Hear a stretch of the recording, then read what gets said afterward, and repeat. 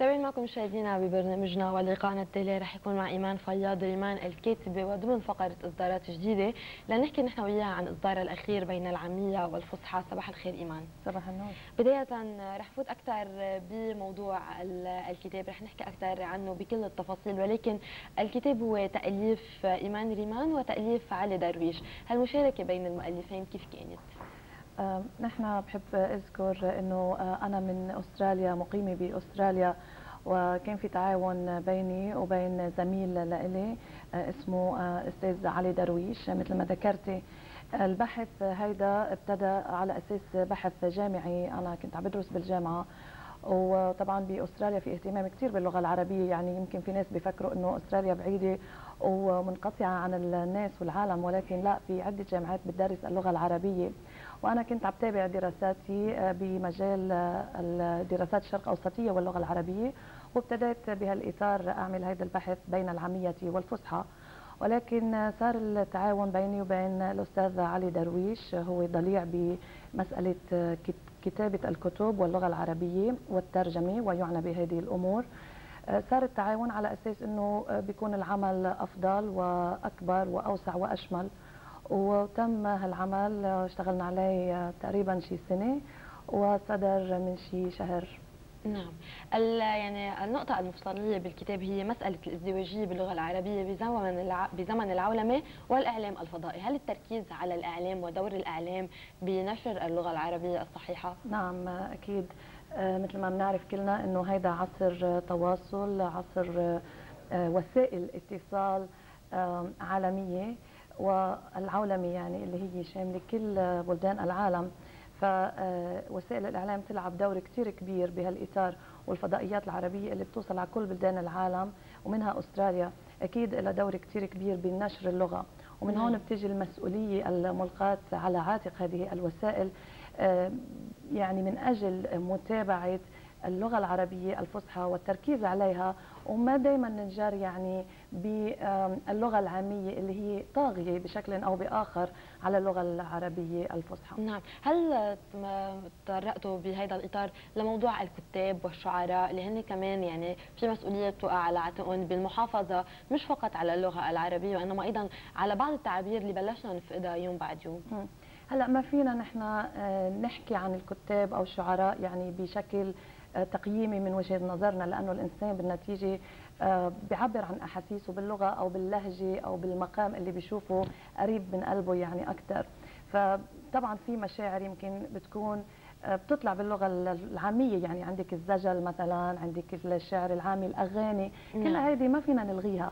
وبهذا الكتاب ما في فصل بين العامية والفصحى إنه هذه أفضل. يعني إحنا لا ندعو إلى مثلا آه، الالتزام التام باللغة الفصحى وترك اللغة آه، العامية. لا لأنه هما جزءان لا لا ينفصلان عن بعضهما البعض. يعني والدليل على هالشيء اللي هلأ اللي أنا عم بحكيه يعني آه، هيدي بتردف الأخرى. فأكيد ما فينا نحن مثلا ندعو إنه مثلا أنت يا شاعر اكتب بهاللغة لأنه هي. أفضل أو لا. لا أكيد في هالأحاسيس لازم تطلع من الإنسان بشكلها الطبيعي بالطريقة اللي حابب يعبر نعم ولكن اللغة الفصحى ما لازم تضيع بخضم الانتباه إلى اللغات الأجنبية واللغة المحكية. يعني بالإضافة للغة المحكيه كمان في موضوع اللغات الأجنبية وخاصة معروف عن اللبناني قد بيستعمل اللغات بجمله أو يمكن بحياته اليومية بلا ما ينتبه يعني في كثير تعابير نحن بنقولها باللغة الفرنسية أو باللغة الإنجليزية ونحن بنعتبرها إنه هيدي خلص صارت عربي يعني بالنسبة لنا وشغلة كثير كثير عادية نعم. هيدا الموضوع كمان مضطرين طبعا لألو. أكيد يعني نحن مضطرين لموضوع الانبهار إذا بدك باللغات الأجنبية وبالدول الغربية يعني. ولا ننسى طبعا تأثير الاستعمار علينا على أساس أنه نحن مثلا تأثرنا يعني مرت سنوات طوال أول شيء من مثلا الحكم المملوكي وبعدين العثماني والاستعمار الفرنسي والإنجليزي يعني ببعض الدول العربية. وفاتت هالكلمات.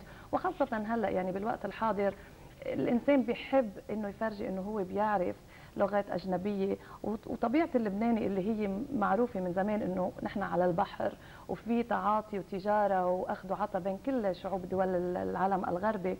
ولكن بالنتيجة إنه ما بدنا ننسى إنه لغتنا غنية وما ضروري إنه ننبهج أو ننبهر باللغات الأخرى. لازم نركز على إنه لغتنا هي مصدر خلق وفيها عندها من المقومات ما يكفي لأنه نستعملها بشكل النقي. ما هيك؟ آه لنعبر عن نفسنا. ولكن هون حكيتوا عن المثقفين حكيتوا عن دور المدارس حكيتوا عن دور التربية المنزلية. يعني كمان ما يكونوا أولادنا عم نعلمهم نحن بالبيت اللغة الفرنسية أو الإنجليزية ما يكونوا بيعرفوا يحكوا عربي. يعني في كثير أولاد نحن بنشوفهم هلأ آه، إذا بدنا نحكيهم كلمتين عربي ما بيعرفوا يردوا علينا. بينما إذا بنحكيهم باللغة الفرنسية أو باللغة الإنجليزية بيجاوبونا بكثير آه، بكثير يعني. سهولة. طبعا. آه، هون كمان في دور للأهل طبعا. وفي دور للمدارس. طبعا يعني يكون في تشديد على اللغة العربية أكثر من اللغات الأجنبية. أكيد يعني الإنسان بيرجع لانتمائه وهويته. طبعا إذا بيعرف لغة أجنبية هيدي كمان كثير منيح كنز يعني بإيد الإنسان أو سلاح. يعني إذا أنت رحتي على أمريكا وما بتعرفي تحكي إنجليزي وبتعرفي كثير تحكي عربي ما بينفعك. ولكن ببلدك كمان أنت لازم تعرفي تتمكني من اللغة العربية ومن عمر صغير.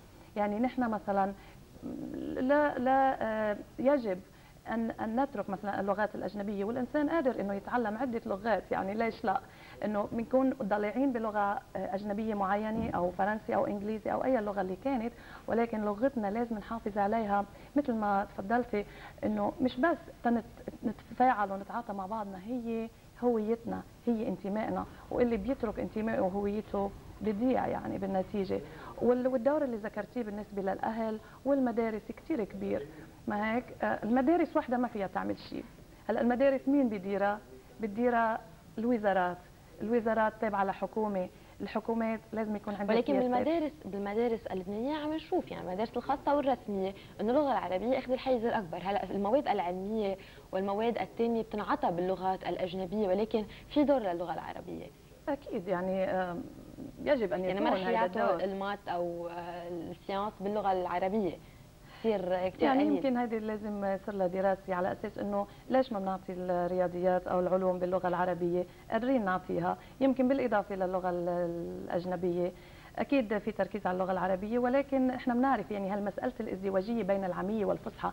يعني التلميذ بيروح على المدرسة بيدرس شوية آه، فصحى ما هيك؟ بيرجع يروح على على البيت بيحكي بالعامي مع أهله. صحيح. وما فينا نجبر الأهل إنه يحكوا مع أولادهم باللغة الفصيحة اللي كمان النقية صعبة جدا.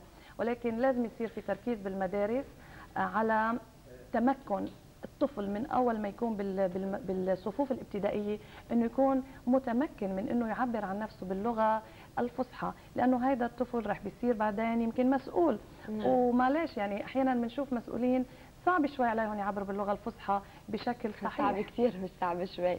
هون العامية آه، هي نتجت عن اللغة الفصحى. نعم. آه، قد إيه يعني قد إيه عم تقدر تسيطر عليها أكثر هلأ أكيد الإنسان يعني من زمان من آه، بعد الإسلام يعني بعد العصور الأولى للعصر الإسلامي بدأت الشعوب تتمازج وتختلط ببعضها البعض.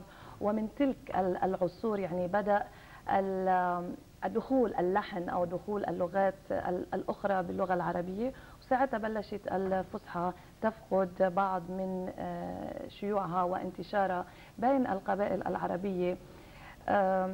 يعني نحن هلا امتدت هالشيء واللغة العامية بتصير ألصق للإنسان على أساس إنه بيحكيها كل يوم ببيته مع أهله.